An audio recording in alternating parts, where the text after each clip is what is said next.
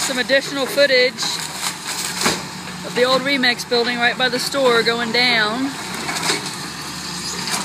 As I explained earlier, I worked in this building. Right about there where they're where they've just cut it off, that would have been my office. Try to get this chain link out of the way. Watch me drop my phone.